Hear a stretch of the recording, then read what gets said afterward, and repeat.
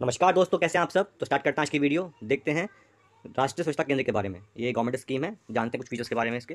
तो it is a tribute to Mahatma Gandhi the Rashtriya Swachhta Kendra was first announced by the prime minister on tenth April seventeen on the occasion of the centenary celebration of Gandhi ji Champaran Satyagraha मतलब कि जो है दस अप्रैल दो हज़ार सत्रह को launch हुआ है ये मिशन जो है, ये जो केंद्र बनाए गए हैं कि भाई हर स्टेट में जो है राष्ट्रीय स्वच्छता केंद्र बनाए जाएँगे। और ये जो लॉन्च हुआ है, ये कब हुआ है? गांधी जी का जो उन्होंने चंपारण सत्याग्रह किया था, उसके सौ साल पूरे होने के उपलक्ष्य में ये स्टार्ट हुआ है। तो आप जानते हैं कि जब चंपारण सत्याग्रह क्यों हुआ था?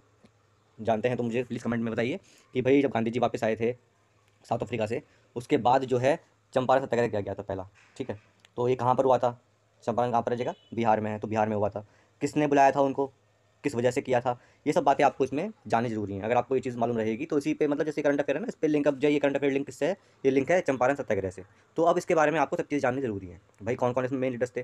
फिर ये सत्याग्रह जब हुआ था इसमें कमेटी बनाई गई थी, ब्रिटिश, ब्रिटिशर्स के द्वारा। उस कमेटी में महात्मा गांधी को ही जो है इन्वॉल्व किया गया था। बात समझ में आ रही है? तो ये सब चीज़ें आप, अगर आपको मालूम होगी तो जो आप इजीली जो है करंट अफेयर को अपने जो स्टैटिक सिलेबस उससे जोड़ सकते हैं। ठीक है? सेकंड पॉइंट देख लेते हैं। It is an interactive experience centre on the Swachhta Bharat mission जो स्वच्छ भारत मिशन है। तो उसका एक केंद्र ही समझिए, उसमें जो ये राष्ट्रीय स्वच्छता केंद्र है, इसमें ये मालूम चलेगा आखिर कि किस तरीके से जो गवर्नमेंट ने अपना जो ये मिशन है, स्वच्छता स्वच्छ भारत मिशन इसको लॉन्च किया, क्या उनके ऑब्जेक्टिव हैं, किस तरीके से वो अचीव करेंगे, अब तो अचीव कर चुके हैं अपना जो फ़र्स्ट फ़ेज़ था, उसको अचीव कर चुके हैं, दूसरा फ़ेज़ भी स्टार्ट हो गया, वो भी अचीव होने के कगार पर है।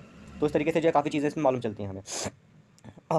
थर्ड पॉइंट देख लेते हैं। The installation at R S K Rashtriya Swachhta Kendra R S K will include audio visual immersive show interactive LED panels holograms boxes interactive games ये सब चीज़ें इसमें रहेंगी।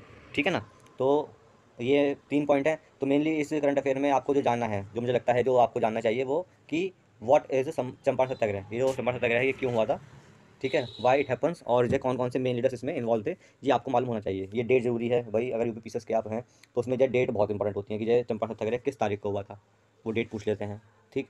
तो इसलिए जो है, हर एग्ज़ाम का अपना अलग इंपॉर्टेंस है। यूपीएससी में जो है, क्या करेंगे, चंपारण सत्याग्रह के ऊपर जो कंसेप्चुअल क्वेश्चन है, वो पूछ लेंगे। बट यूपी पीसीएस में जो है कंसेप्चुअल पे कम ध्यान देते हैं।